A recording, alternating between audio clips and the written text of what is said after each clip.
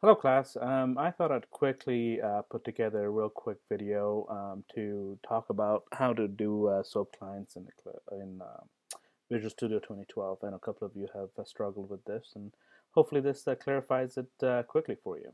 So for starters it is really really straightforward. Um, and the fact that it's straightforward I think makes it in to a degree uh, very easy to consume uh, SOAP services. So first things first, let's, um, this is the SOAP service I'm going to be using. This is the same service that I used in the Eclipse um, uh, example.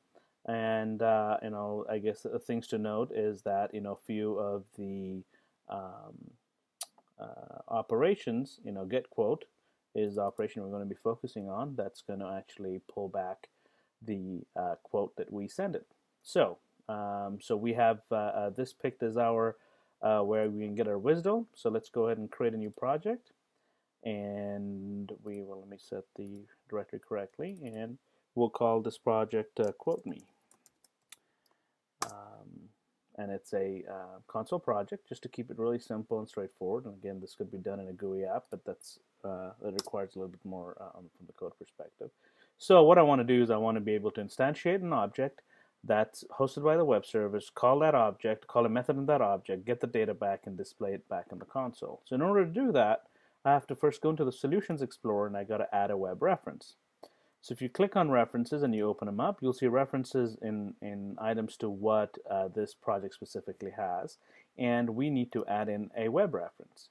So in Visual uh, Studio 2010 and earlier, you could actually see a web reference as part of this dropdown but for some reason it's been hidden in 2012 and I'm not exactly sure why. So, so we say add a service reference and then go under advanced and under advanced you'll see add web reference.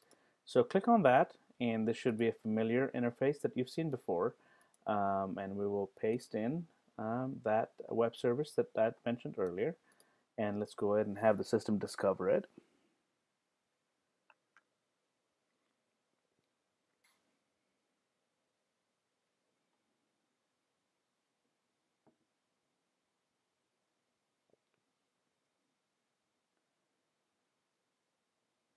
And once the system discovers the uh, service it's going to list it here. And also in the description it says get quote is the method that we want. So start quote. So let's go ahead and add the reference. And now you see the web reference added. So the next step is let's uh, create an object. Um, so net dot web service x dot www dot stock quote is the class. And my quote will be the object of type stock quote. Um, oops. So there you go. I've instantiated a my quote object. Um, and now what I want to do is I want to be able to um, write out what my quote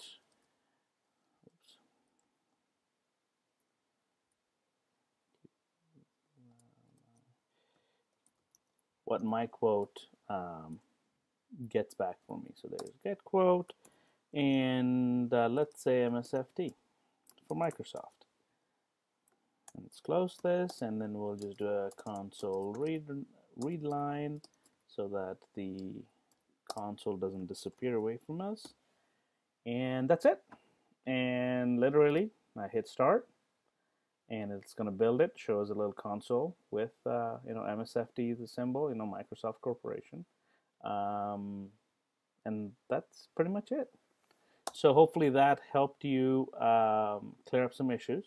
Uh, if not just let me know and I can uh, dive deeper if need be. Thanks again